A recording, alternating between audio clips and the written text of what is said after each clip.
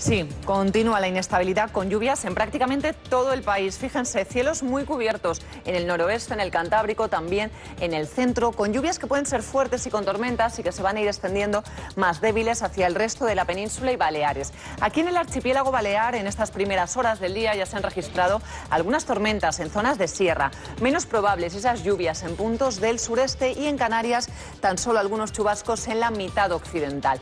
Atención hoy al viento, va a soplar con fuerza en Galicia en el estrecho y también en el sureste. Y la cota de nieve se sitúa en torno a los 1.000-1.500 metros en el extremo norte. En cuanto a las temperaturas, hoy van a bajar en muchos puntos del centro, también en el sur y en la mitad occidental. Un descenso algo más marcado en Extremadura y por el contrario suben los termómetros en Cataluña y Baleares.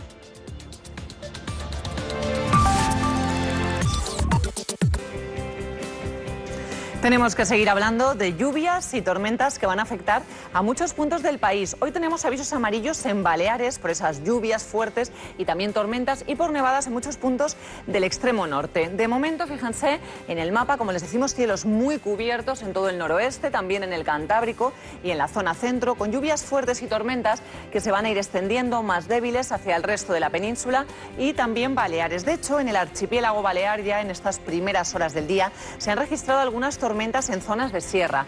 Menos probables esas lluvias en puntos del sureste y en las Islas Canarias, tan solo algunos chubascos en la mitad occidental. Atención hoy al viento porque va a soplar con fuerza en Galicia, en el área del estrecho y en zonas del sureste del país. En cuanto a la cota de nieve, se sitúa en torno a los 1.000-1.500 metros en el extremo norte. Las temperaturas hoy van a descender en muchos puntos del centro del país, también en el sur y en la mitad occidental. Ese descenso sí va a ser algo más marcado en Extremadura y por el contrario suben los termómetros, pero de forma ligera en Cataluña y en Baleares.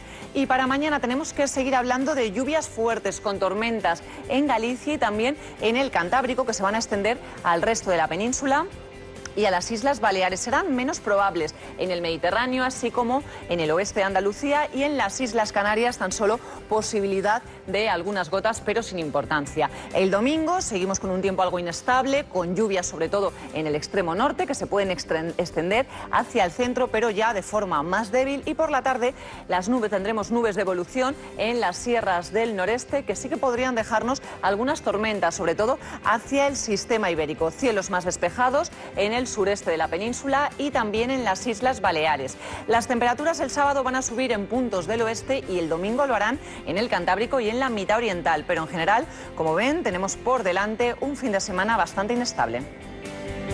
Así es, las lluvias y las tormentas van a seguir siendo protagonistas en los próximos días.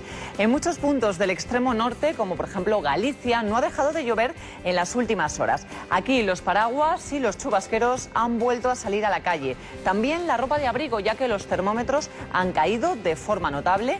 Hoy el mercurio no superará los 12 grados. La inestabilidad va a continuar en el norte durante todo el fin de semana. En San Sebastián han amanecido con cielos muy cubiertos que en breve darán paso a las lluvias. Hoy los pocos que paseaban por la playa de la Concha lo hacían abrigados, ya que en estos momentos los termómetros marcan tan solo 10 grados. A pesar de este ambiente fresco, algunos aprovechan las primeras horas del día para practicar surf. Y frente a estas lluvias tan repartidas, ayer encontrábamos un ambiente más tranquilo en puntos del sur como Málaga.